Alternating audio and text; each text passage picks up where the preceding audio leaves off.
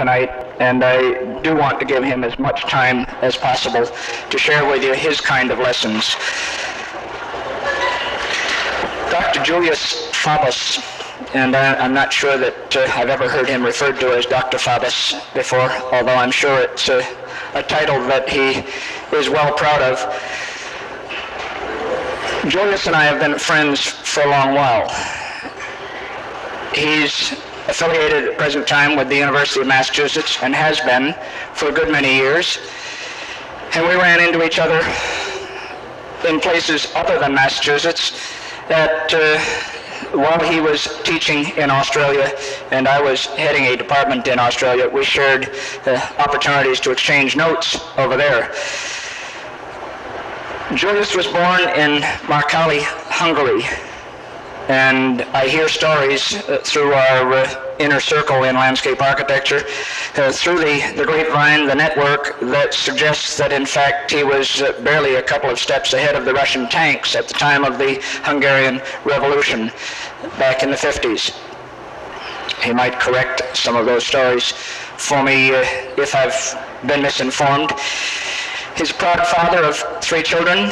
He carries with him a diploma in agronomy from Hungary, a Bachelor of Science in Plant Science from Rutgers University, a Master of Landscape Architecture from Harvard University, and a PhD in Resource Planning and Conservation from the University of Michigan. His credits include graduation at one point or another, summa cum laude, he carries numerous scholarships and fellowships.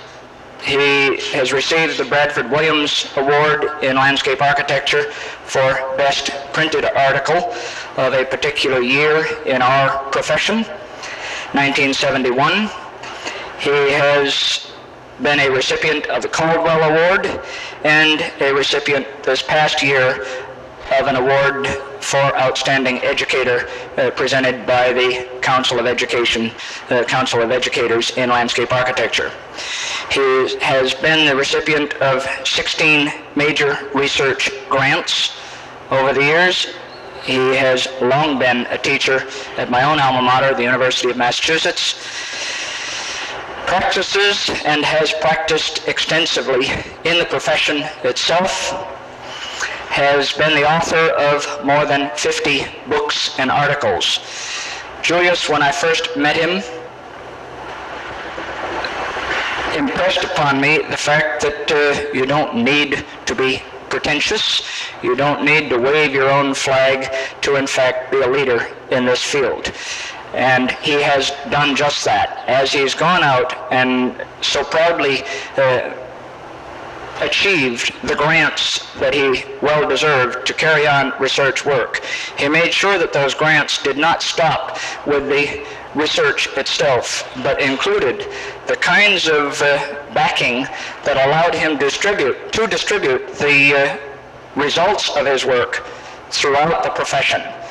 The, uh, those of us in the profession of landscape architecture have many times been the recipient of major reports produced by Julius Fabos and his colleagues uh, at Massachusetts and in uh, Australia. He's uh, been very effective in getting the word out. He has been in the forefront of this profession, has indeed led us as we find ourselves today in a world of computer applications in landscape planning. It's because of Julius Fabos. I'm proud tonight to give you an opportunity to share with me the words of Julius Fabos.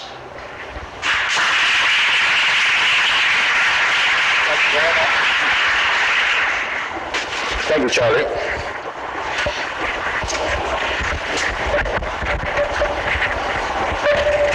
Now I think even better now.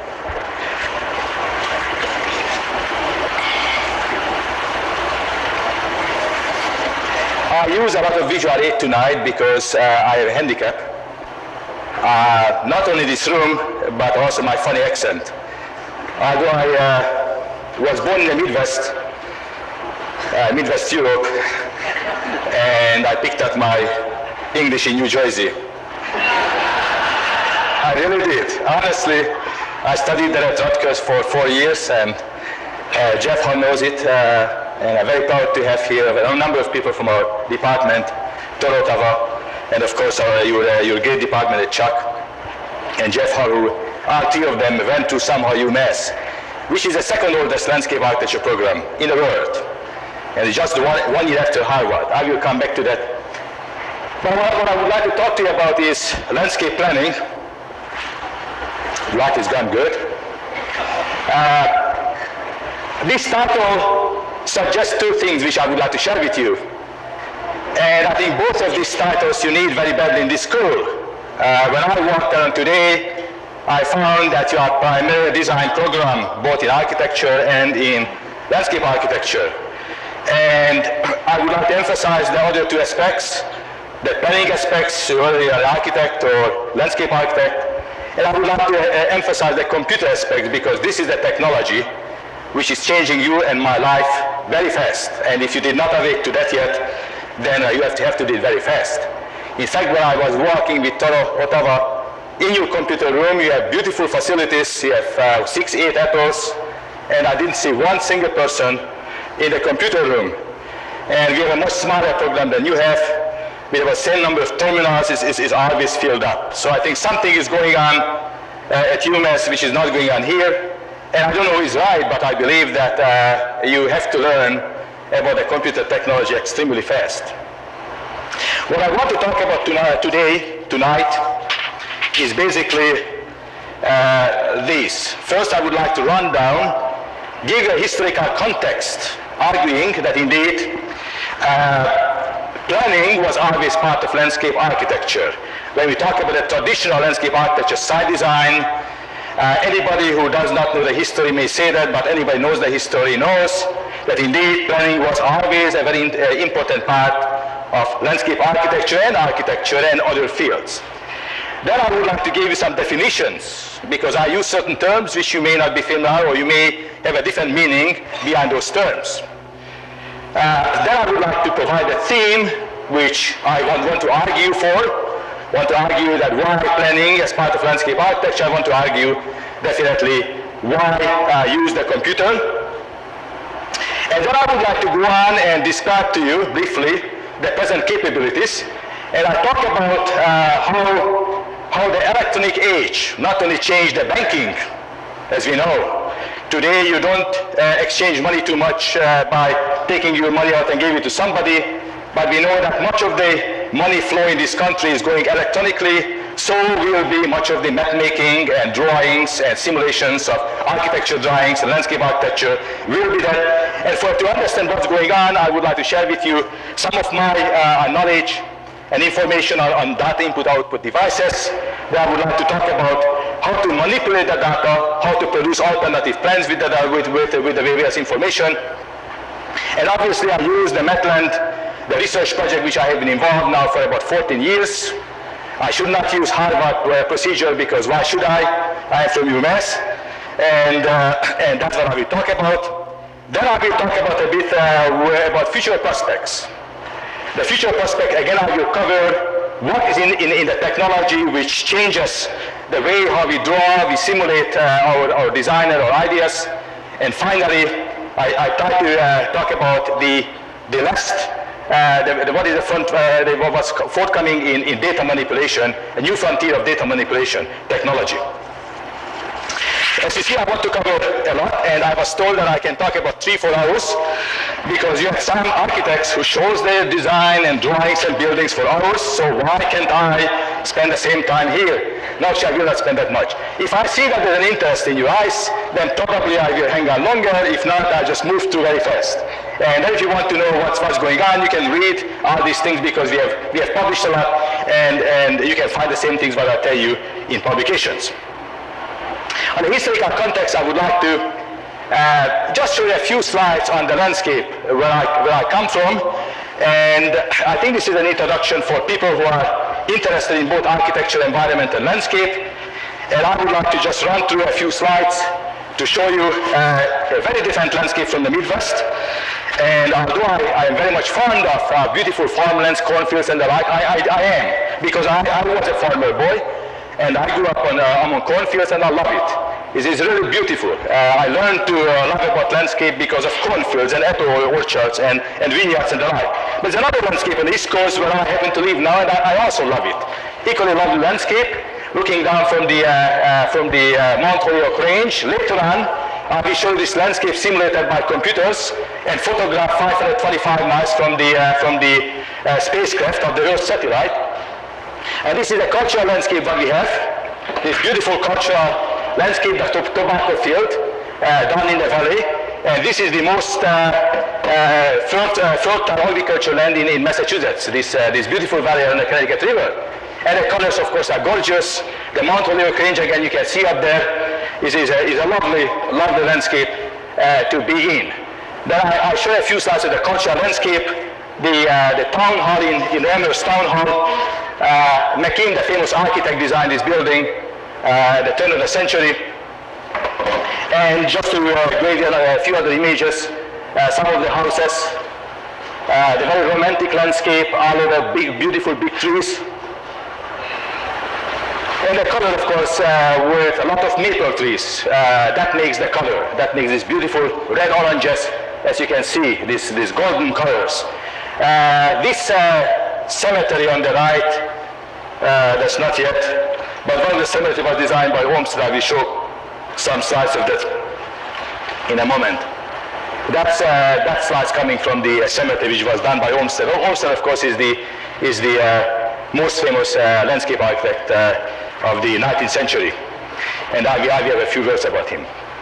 Uh, let's continue. In fact, I, I, I continue with Olmsted because many people think that uh, landscape planning, the way as we practice is, is started with the computers. It is not. In fact, the first landscape architect, Olmsted, and his student, Charles Eliot, did a magnificent work in, uh, in the Boston area. And they were responsible uh, uh, for, the, for the first major park system. And I'll just uh, show you a few slides on that.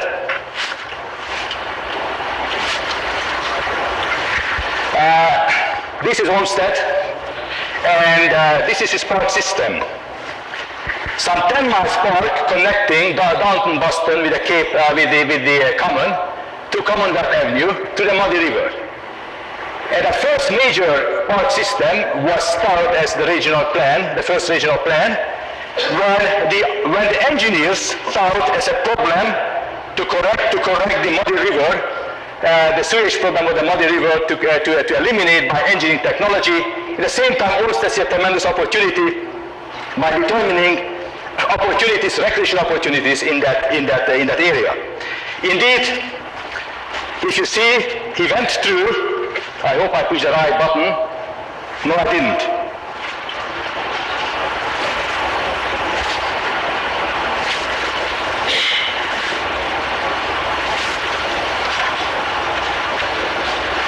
Uh, the, the whole park system was replanned, redesigned, and uh, we can see the construction work which had to be done to create this, uh, this uh, park system.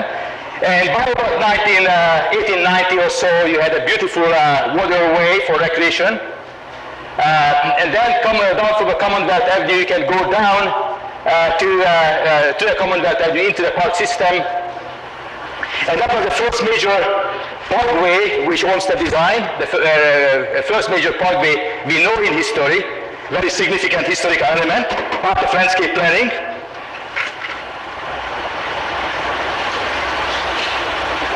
And again, uh, some uh, current slides of that. And uh, some other recreation water areas, the, the, famous Jamaica Pond, and of course the engineers tinkering with, uh, with the system. As you can see, the uh, parkland is always free, and everybody has other ideas about parklands in, in urban areas. The next major giant whose plan I think is, uh, you should know something about is Charles Eliot. Charles Eliot is the person who was, his, uh, was Olmsted student and responsible for the first major Boston Metropolitan Park System, the first major in the, in the United States which affected 250 square miles of, of, of, the, of, the, Boston metropolitan area. In fact, what, Holmes, what Eliot has done what Eliot has done is creating this enormous park system. That was, the, that was Olmsted 10 miles uh, park system, and, and Charles Eliot protected all the major stories, as you can see, he set aside major wild wilderness areas, six of them around the city. The, the beaches has been reclaimed. That was the first major reclamation project ever in the history of the, of the world, as far as I know, to, to take back from, from, uh, from individual use the, the famous Revere Beach and turn it into public use. And, and indeed, he established the landscape planning at the next level, next plateau. Some more details, that's the Charles River estuary, which, which is a park system. When I was student at Harvard, uh, there was a big fight. The engineers wanted to put a four-lane superhighway uh, here, and we were able to stop them. They wanted to trade up this uh, uh beautiful trees and beautiful uh, parkland you will see just now. That, that should have been our highway because their objective was very simple. More people want to go to the city, so why not we build uh, more, more highways? And we were able to stop it. and that's about the wilderness of what he has done. Now the next major work, as you can see, landscape planning really in the Boston area as part of landscape architecture was Arlis Faring. The third major project, uh, which is still under implementation, uh, was the, uh, the uh, Benton MacKaye study. But before I go there, I want to just uh, give you a little uh, story about the, the foundation of planning, where planning came from. In Europe, it came from surveying very often. It came from engineering. It came from architecture. It came from all sorts of fields. But interestingly, in the United States, the first planning course ever given at an institution was at Harvard in 1916 and by given by the Landscape Architecture Department. The first planning program ever in the United States, as far as I know, was given as a program within the landscape architecture in 1928. So what is the tradition of landscape architecture? Is it site design? Is it site planning? It is, yes. Because Olmsted was involved in site design, so was Eliot. But it's also planning. And I will come to that what I mean, uh, uh, uh, why I want to emphasize planning for those people who are primarily interested in the design, which is how to do that when, when the planning has been decided. Okay? So I, am advocating here a broader look, whether you're an architect or landscape architect, I'm advocating much broader look to be involved more in planning. The third major uh, evolution of the planning within the Boston metropolitan area, in that evolution, what I tried to explain to you, is the famous MacKaye-Eliot plan uh, from 1928 on and is still being implemented.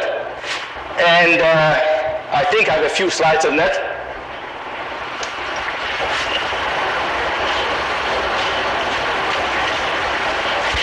This is the famous Charles Eliot second, the nephew of the very famous Charles Eliot.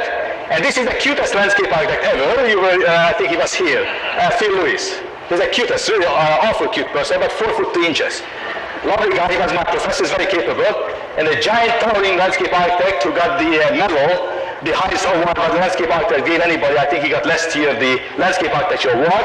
And indeed, the landscape architecture profession respects the planning aspects of the profession very much indeed.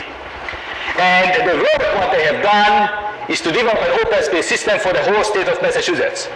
Uh, the Charles Eliot plan, the 250 square mile was this, and then the, uh, the uh, other major uh, park system here, and all the major critical areas of the state of Massachusetts has been identified as, as so important that it has to be turned into some sort of public use, some public preservation, some public protection.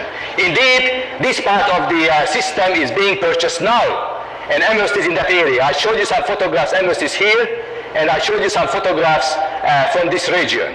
And that's the Connecticut River here, which, uh, which has this beautiful farm landscape which we saw from the air with the tobacco, uh, tobacco nettings and the like. Okay?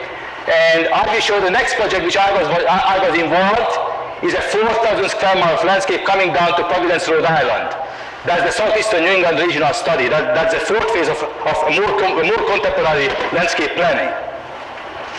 Okay. And that's the, uh, the Bay Circuit plan, the more detailed plan. And you can see how the highways try to use the same land which the uh, park people wanted to uh, use for open space and parks. In fact, Charles Eliot, the same person, stopped the Middlebelt Highway which was proposed during the early late 1960s and 1970s. Almost single-handedly, he was able to convince the legislators that that highway is not needed because the landscape is too fragile and cannot support that type of pressure what the engineers wanted to uh, place on them by, by planning the superhighways. The fourth phase of the evolution, I think I finished with the slides. The fourth phase of the evolution of this landscape planning, historically over the past 100 years, is the SEANI study, the Southeastern New England Regional Study, and I just introduce these ideas. I don't want to explain to you in, in great detail, but indeed I was involved in developing what we call the holding capacity model, or a procedure by which we determine how much development the landscape can take uh, because of the natural characteristics of the landscape. And we designed a three-phase study, which we call an eliminative or, or, or exclusionary procedure. That's, that's the lingo you, you talk in, in, in landscape planning. The first phase of the study was what we called at that time and today uh, uh, to determine the critical resources for preservation. We were interested to determine what type of uh, wetland, water bodies, uh, and other, other resources warrants preservation of that landscape. In other words, keep it as is, don't use it. The next stage was, in the study, what we call phase two, or determine landscape which are important but can take certain degree of agriculture use, recreation use, uh, uh, scenic easements and the like. And the leftover land we call that can be developed and based on the suitability, we determined five levels from low to high density uses. So that's, a, that's another type of landscape planning study. The type of planning which has been articulated and, and, and emphasized very much by McHarg are this quite different approach than the McHargian study. However, it comes with the same type of conclusions that indeed, in the black area, we try to development no, no, because the society has greater value for those resources, and therefore we don't want to give it up for, for, uh, for unwarranted users because that's our water supply, that's our sand and gravel supply, that's, that's all the critical wildlife, wetlands and whatnot you have. Then we have the area which, is, uh, which, uh, which uh, may be used but not, to, uh, not extensively. The water developed, and then the, this, this lighter edge we can develop to uh, various degrees depend upon the capability of the, of the land. So this is the history, basically. This is uh, this ecological environmental ethic, which was the foundation of landscape architecture ever since it started uh, during the uh, during the Olmsted era in the in the mid 19th century. Now, uh, I would like to give you some definitions in the same line and show you what I mean under the various terms and that, gives, leads you into the type of approach what we, what we use and why we use it. First, I want to uh, define what do, what do we mean under landscape? At least, what do I mean landscape?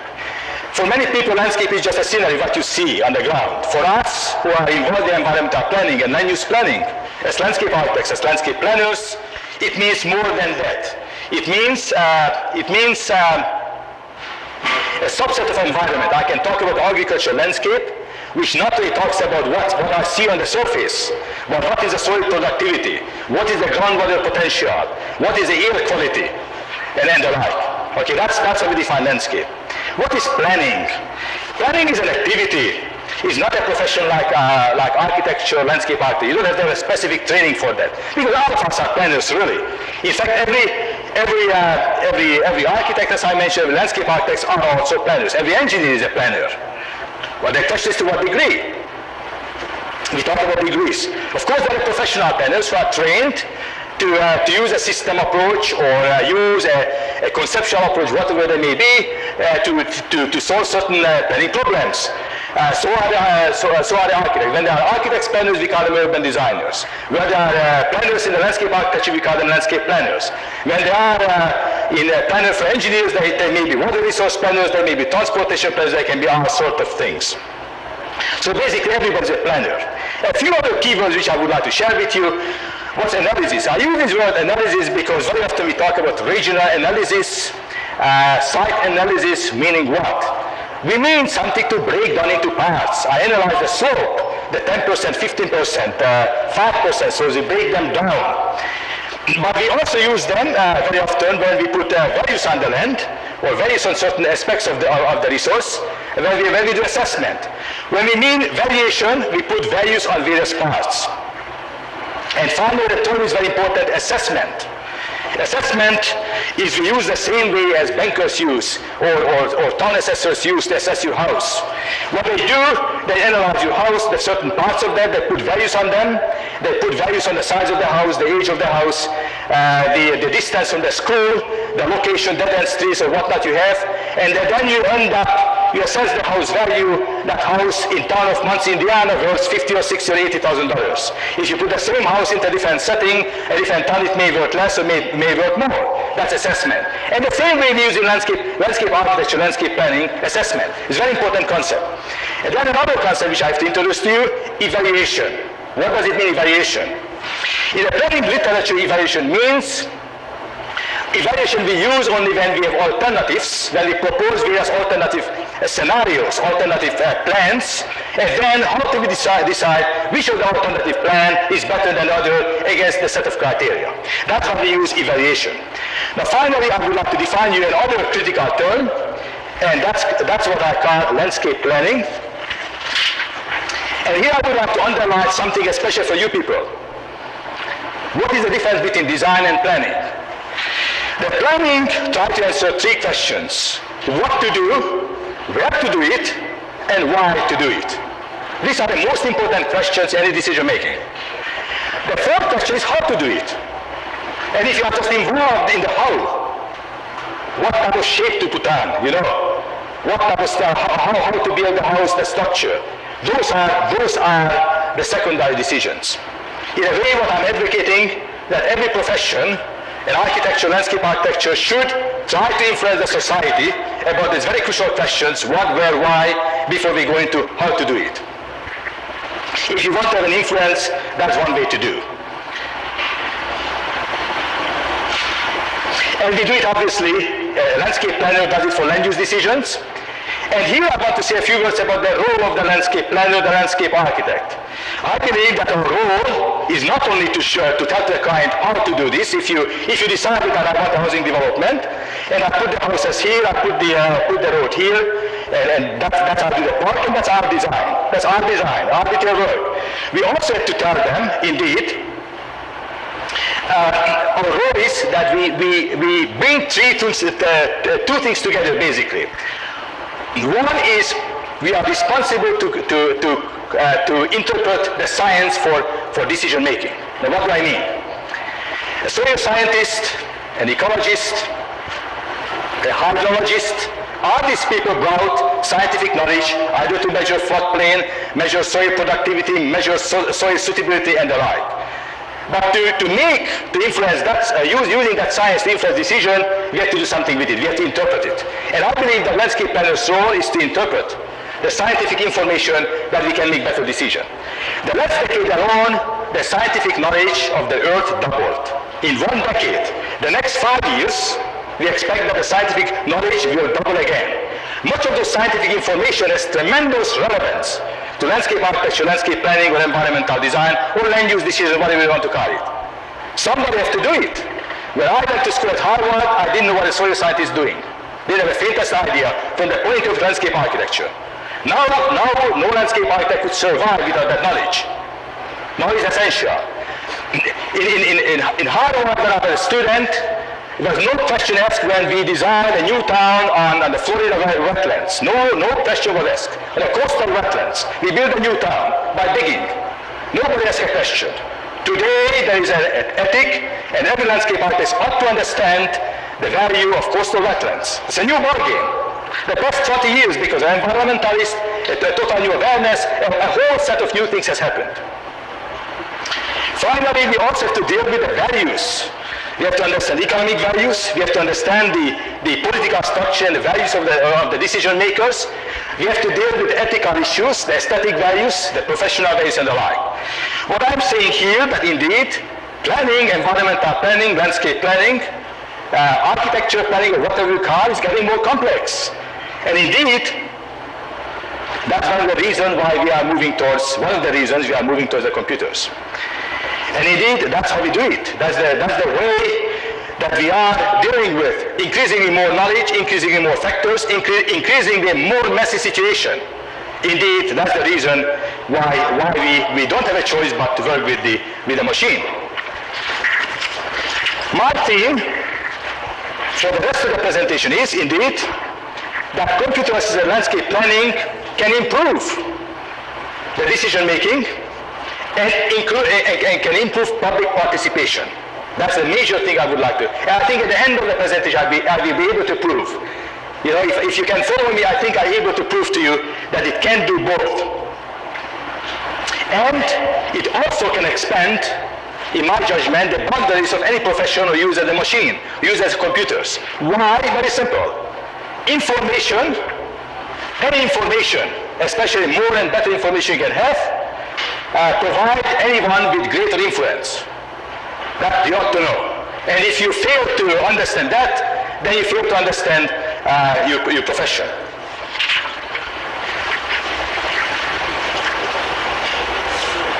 Now I would like to go on and describe what is the present capabilities in regard to computers and landscape planning. First, a few words about the impact of the computers. The impact of the computers can be compared with any technology. You can compare with the railroad, you can compare the auto technology, the airplane technology, uh, doesn't make any, any, uh, any difference what you, what you compare. And indeed, when I compare this technology, or just analyze this technology, the same curve will apply to computers as, as, as apply to anything else. The expected, uh, expected impact of computers on landscape planning or architecture or name it. Doesn't make any difference. We started about 20 years ago very slowly. We barely did anything. In 1980 we are just taking off. 1980, 82, 83 we are just taking off. The progress from here will be extremely uh, rapid. Now I, if, if this is true, I ask any architect student here, I ask every landscape architect student, how much computer knowledge you have when you go out. If you have none, as soon as you move out from this building, you are outdated. I guarantee to you. If you have a little, then you are somewhat outdated, or, or more outdated, but not as much as the person doesn't have any. Indeed, it changes everybody's life. And I want to prove it, indeed, by the end of this presentation. What is happening in computers? They have tremendous advancement, especially in the area of landscape planning, in what we call data input, data output technology. Uh, data input means how they acquire data for the computers. In other words, up to this point, when you when you uh, try to get a map, a land use map, a land cover map, a transportation map, or whatever, you have to get a map, an, actual paper map, and uh, things are drawn on it. How it will be 10 years from now? It will come to you electronically, and that's the revolution. How is the output? Today, you magic marker. Okay, I saw that people were selecting magic markers. You know, uh, four or five colors of magic marker to, to do analysis, and then for hour after hour you, uh, you draw and make your map. Or you are sketching, you use uh, whatever color, whatever technique you use. Doesn't make too much difference. That's your output device. What is in the future? With, with computer, uh, computer output. More, more like a color output. Indeed, we are moving from maps to, uh, to digital electronic data, and the advancement on that is, is absolutely incredible. I cannot give you too much uh, on this topic because that would be hours of hours of discussion. I just hit, hit you a highlight, a few highlight, highlight on that. Um, first on remote sensing, uh, data, uh, data and, and data manipulation. You probably heard about the Earth satellite, the Landsat 1, the Landsat 2, the Landsat 3. That was the first major uh, public effort when we as a society, I think I would like to have the, yeah, when we as a society began to get information, digital information, 540 miles over the surface, and that is the beautiful landscape which I showed you. Now that's not a true picture, and that's very crude, because all the pixel elements which this whole photograph made up is one acre, a bit bigger than one acre. Now a few years after, in fact just last year, another technology, the Landsat 4 technology was, uh, was launched, and we have now true color, the same landscape. And this landscape with a machine is reproduced, just like if you would be in a helicopter. We are able to helicopter the landscape with electronic media. We don't have to uh, uh, rent a helicopter for $300 an hour. We can go up into the electric machine and we can zoom into the zoom, zoom into the landscape. The next is a zoom in. You know, that's a zoom in. That's a smoke back there. 525 miles down, you can see this type of detail. Absolutely incredible. And the next technology, which will be launched by the French in 1965, actually 1985, this has a 30 by 30, 30 meter pixel. The next technology will be 10 meter by 10 meter pixel or one tenth of the area size will be, which means that we can do site design almost from the information that we are able to get from, uh, from, from remote sensing satellite. Incredible technology. Let's talk about the next type of uh, data output input devices. Demographic data is used already and computer graphics is used extensively, extensively for, for demographic data. And the examples what I want to show you just two among the many. One is the United States government making decisions on demographic data. That's, I'm sorry for the production is coming from a newsletter which does not have the, the, the good fatty color. And another New England-wide business decisions are made using geographic data. And these are the type of map-making technology, the, the data output technology, which is now our electronic, our automated. And finally, on this line, a few more words on this, uh, this issue. There are other outputs, obviously. You can buy now that, uh, that computer which, uh, which I just uh, photographed there. This type of color output you, uh, today you are able to buy for $4,000, roughly. And, and this is a computer uh, mapping for publication, which just shows the, the range of time and, and the type of uh, uh, mapping which you can do with, with, with computer. Indeed, the computer input and output technology has advanced to a tremendous degree. Where we are not as much advanced is the data manipulation. And I would like to here to run through basically very rapidly with some of the research that we have done in, in closing the gap, what we call in the area of data manipulation. In other words, what I'm saying now there's a tremendous amount of electronic data is coming to us. And just like today, the great majority of the money is, is, is, is handled from bank to bank, from one country to another electronically. We will handle the same way the spatial data, which, which is essential for landscape architecture, landscape planning, environmental planning, or, or, uh, or, or architecture. Now, the data manipulation is where we have the greatest difficulty. We are probably 10, 15 years behind the time. And I would like to, I would like to tell you where we are now and what it does for us. The uh, research has done an overall procedural model, what we call, which has three phases. I come back to that again once more to that. It has what we call an assessment phase, which, which determine what to do, where to do, how much, how good, how it is distributed, how it is valued. That's an ongoing process for everything that we have in the environment. If you have a community, it has water supply, it has sand and gravel, it has good agricultural land, it has suitability areas for development, it has, it has uh, cultural areas, uh, resources and the like. That should be all assessed and it should be an ongoing process. And because the electronic age, we believe first time in the history of, of, the, uh, of our towns, our communities, we will be able to do that. Okay. The second is we have all this demand on that resources. There are various human objectives, and those human objectives can be achieved in many different ways. There's not, not, not one way, two ways, three ways, ten ways, hundred. There are million ways we can achieve our objectives. The third phase is we can evaluate them against a set of criteria. In this case, of course, I'm advocating environmental landscape criteria.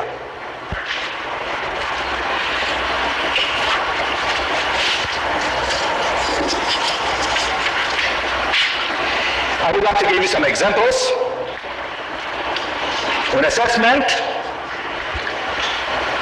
we can, for instance, assess uh, we can assess uh, the physical development suitability, topoclimatic suitability. We can have combined values, and I gave you a few slides on, on, on these examples. I'm sorry, this is a, a super graphic which I forget to show you. This is basically done by the computers with photographic quality. which I wanted to underline that the data output technology is as good as, as, as color photographic quality if you want. And that technology is available. And you know, if it's available to produce a, a beautiful woman like that, it's available to produce a beautiful rendering for, uh, for architects and a beautiful site plan for landscape architects. It's a matter of time how fast this will be taken over uh, or, or, or uh, adapted by us.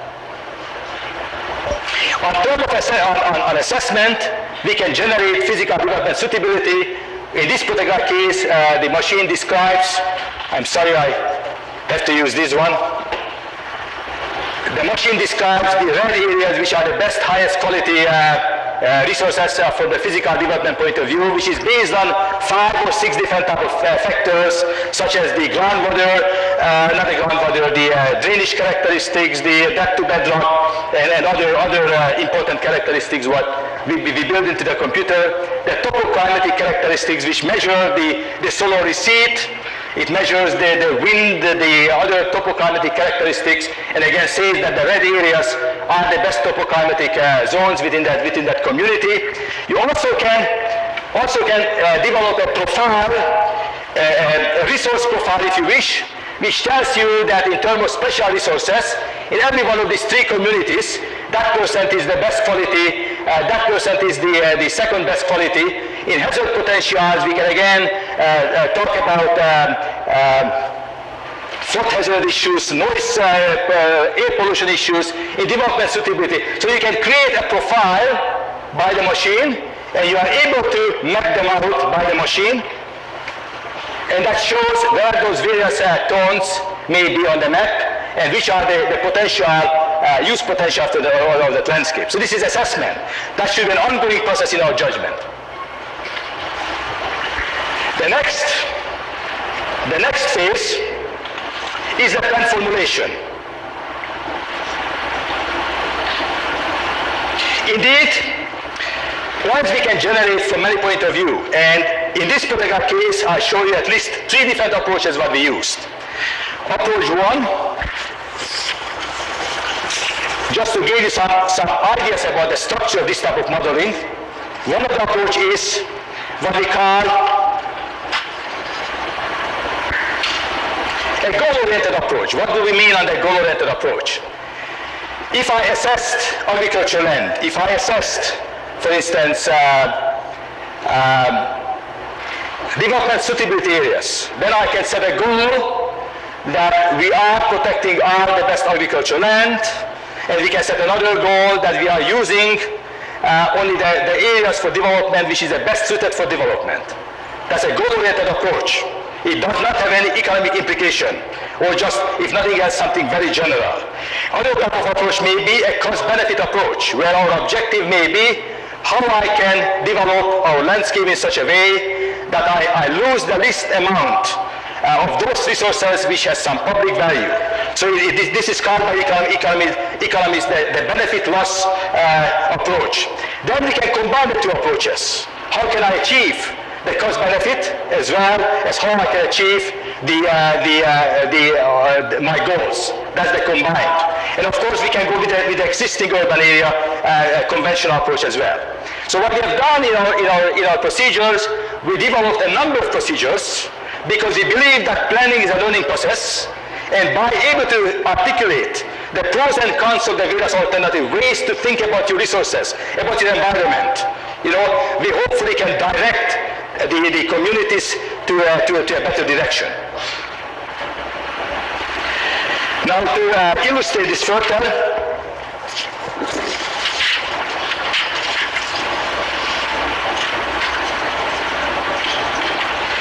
The goal-oriented approach I can illustrate to you by a, by a very simple map.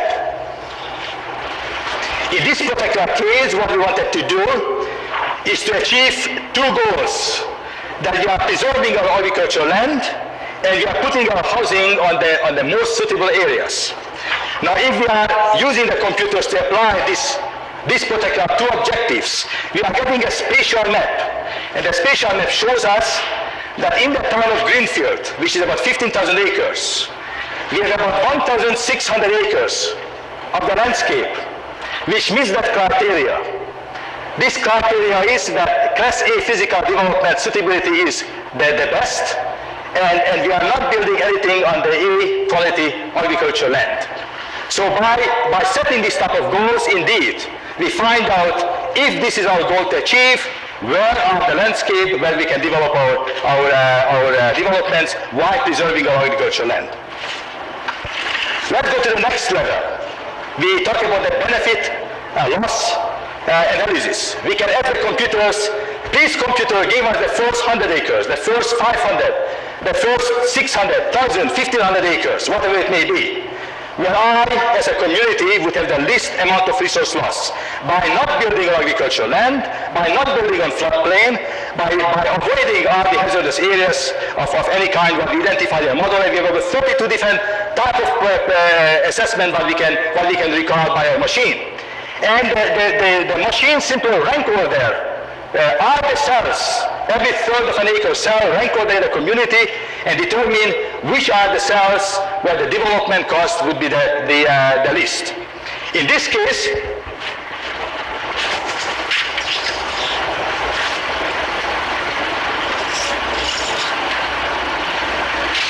the, the computer was searching and are those areas where you have this, this uh, hatch line, are those areas were found uh, these areas were found which meets that criteria. It simply says that if, if your objective is cost benefit only, we can, we, can, we can help you, but it does not mean that you are achieving some of the other goals which the other approach would do. The third, of course, is a combination of the two. It's very simple. You combine the two. And here the objective is that we have the first 1,500 acres. At the same time, we would like to preserve all the classic agricultural land, and we want only develop on the best suitable, most suitable land within that 1,500 acres. What the computer found was, and I think I have a slide for you. I'm sorry. I think I broke something. Not yet.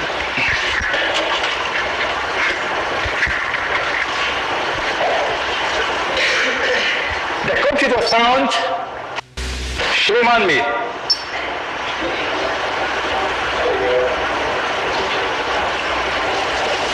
Am I all right? Thank you. Thank you. The, the, major, the major learning from this map is that we wanted to have 1,500 acres while achieving two other goals. We could not have it. The computer found only 1,245 acres, those red areas. So what it basically says that that uh, if we want to develop 1,500 acres, the only way we can do either we build on best agricultural land, which we didn't want to, which we didn't want to uh, give up, or we have to build on certain lands which are not the best suited, suited for development. Okay, so this is the, the basic learning from that. Uh, finally, we can deal also with, an, with third area of, of plan evaluation. And as I mentioned to you earlier, plan evaluation for us means we like, we like to determine what is the effects of the alternatives on our resources, on our environment. And, and one example which I would like to show you is probably the most exciting example I've ever found in our research was very simple that that when we, when we took two alternatives, one is the, what we call the landscape sensitive alternative. We took another one, which is uh, which is uh, based on the present trend growth, where the present growth trend. So in other words, we accept the present policies of, of the growth policies without, without, without any, any changes in the policy. We found that in the result, 71% between the two extreme plans we had agreement. 71% of the area we had agreement. I can show you this on the, on the photographs. Hopefully that this time I don't knock over something. I am very clumsy today, I'm sorry. And this is the description. It simply shows that, that 26% is the area where we have conflict. However, 71% of the area we have total agreement between the most two extreme alternatives. Very important. Remember of that. We are looking in the map for this stone.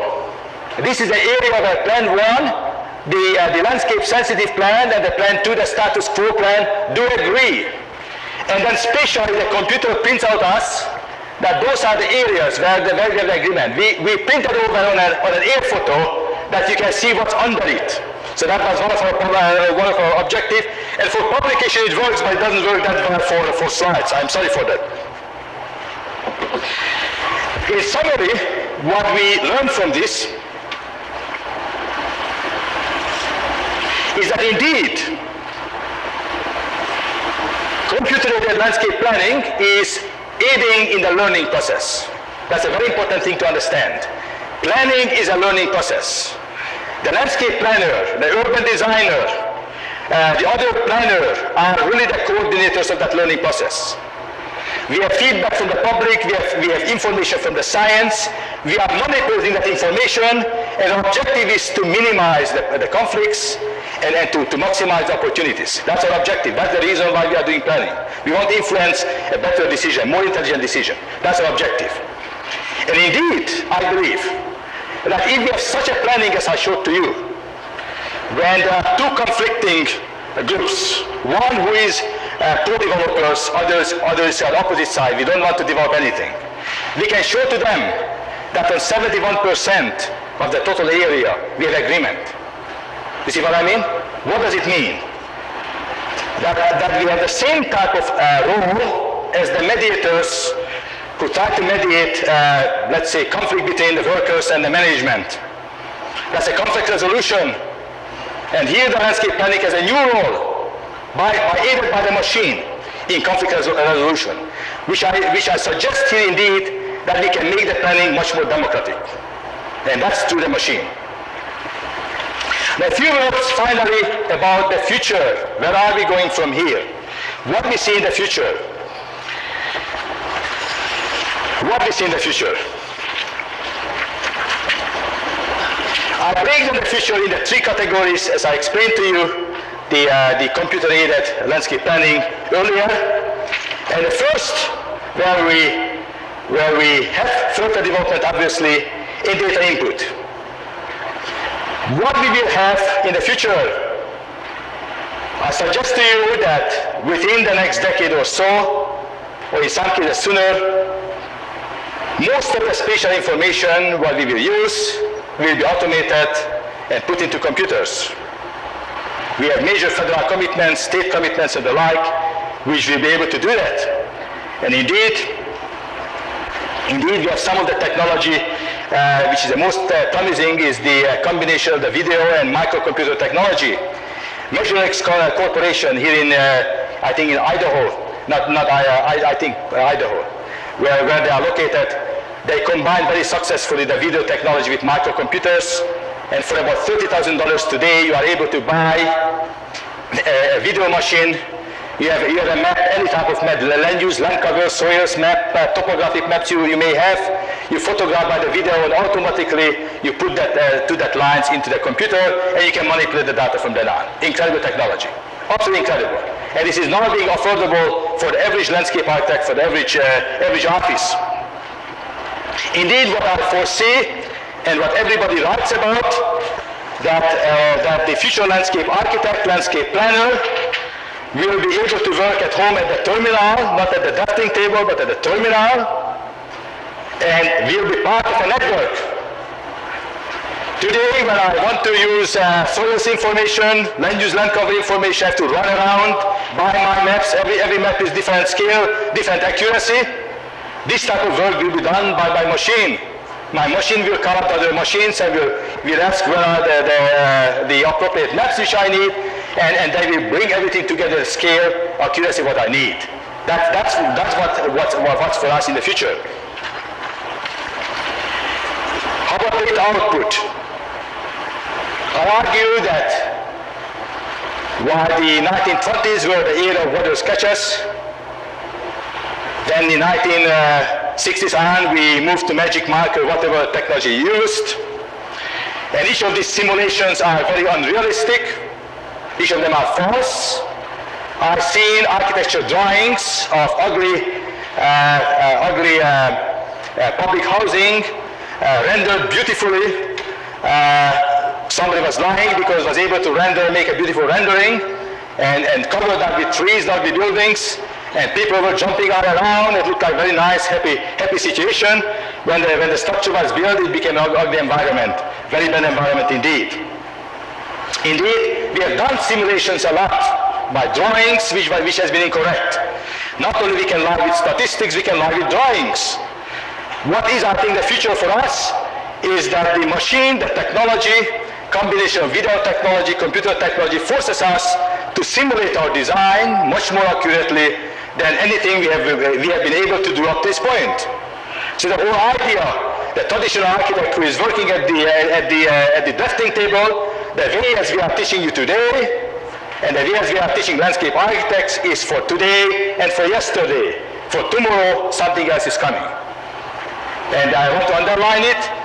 You ought to learn the machine because, because whenever a new technology is coming in, there are three types of people.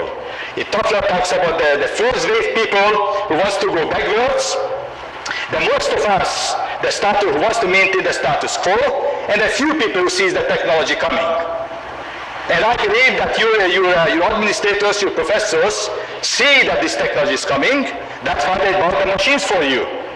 But very, very few people use uses them. Until you have this change, obviously, most of you will belong to the second wave of Toffler's uh, uh, uh, classification. Finally, and other exciting things I would like to mention to you, what is coming for data manipulation? What is the new frontiers in data manipulation? I believe that we are moving towards the expert systems, which is very often uh, uh, described by computer uh, scientists as artificial intelligence. Artificial intelligence basically have three phases. One is what three type of artificial intelligence we, we most of us read about or talk about today. One is the artificial intelligence which makes the robots work. That technology has been developed superbly. We have now, I don't know, Japanese has some 60,000 uh, robots, America some 15,000 robots, and, and we believe that perhaps 10, 15 years, most of the traditional technology, this routine work will be done by the robots. Now, what is the next type of artificial intelligence here? Next type of artificial intelligence is the type which affecting you and me more than anything else. And that's what's called, that's what's called the expert systems. What is expert system? Expert system has been developed to date in three fields, and I think by my example, I can, I can tell you more what the expert system is. The expert system today used in chemistry, in geology and in medical science the most. There are today expert models which can diagnose up to 500 illness. And those expert systems are better, they, they, they, can, they can diagnose you better than the average doctor. How they work? What they do, they are able to program into the computer how the best diagnostic person of the medical science would go about to find that, uh, find that uh, illness. And by programming not only one but number of experts into the machine, they are able to diagnose indeed uh, the, uh, the, uh, the, uh, the illness is better than any, any, one of the human beings can do or the average human being can, can, can, can do it today. Indeed, that's a new frontier in environmental landscape planning. And interesting enough that current leaders are not Americans, because the American Artificial Intelligence Group uh, developed a very, very difficult uh, program called the LISP. Probably some of you read about the LISP. And those people are called the LISPers, who are, who are doing the, into landscape environmental planning are the Portuguese. In fact, only two weeks ago, I got the first paper from Portuguese, which is about a, a 15 Xerox machine. It was never published in America. It just passed on from Xerox to Xerox to Xerox to Xerox. And my Xerox is so bad already I cannot read only 70%. It's so bad. But the idea is there, and I believe that's the new frontier. My friends, I hope that uh, it stimulated some thoughts, and it certainly tired me out, because that room is a very difficult room to talk to. Anyway, I finished. Thank you very much.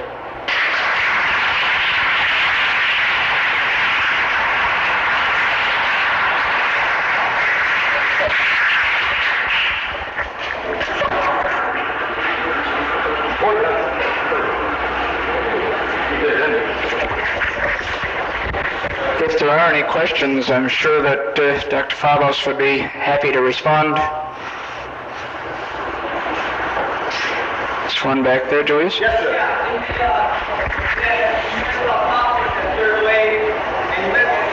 Can you speak up? Can you come closer?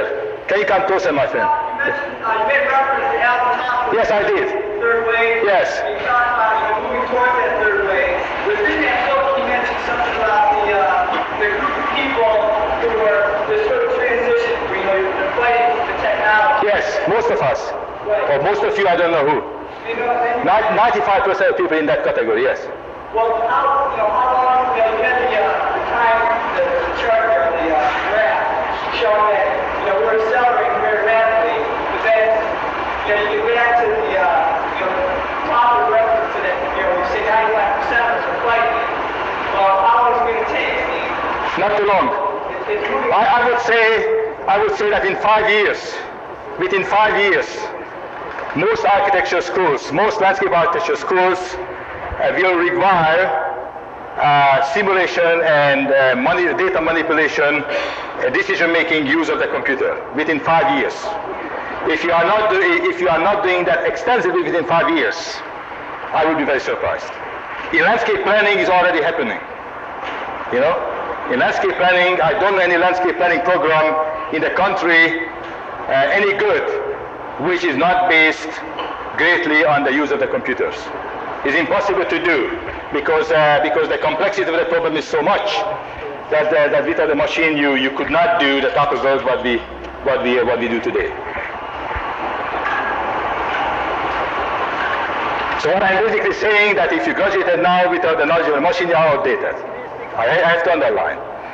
And I have to urge everybody, you know, I want to urge administration to, to get a few good people and, and get on the computer. You know, that's, that's, you know, this is, if you, if you fight it individually or collectively, uh, you have the same result as the people had to try to fight the railroads. They didn't go too far. Did they?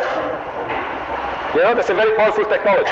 And I think a very useful technology. I, I wanted to have two sides here. That the computer age is an incredibly useful technology, one. And secondly, we can make our decision-making process much better by the use of the computer. Two simple messages. Any other questions?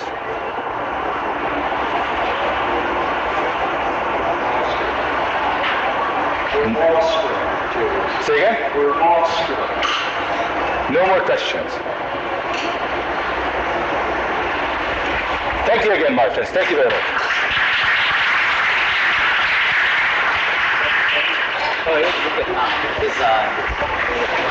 Might I remind everyone that if uh, anyone wants a one-on-one opportunity to chat with Dr. Fabos, that he'll be with the student group uh, for the next hour or so at uh, reception held at uh, Hasib Derhali's apartment. Uh, there are notices up around on the walls.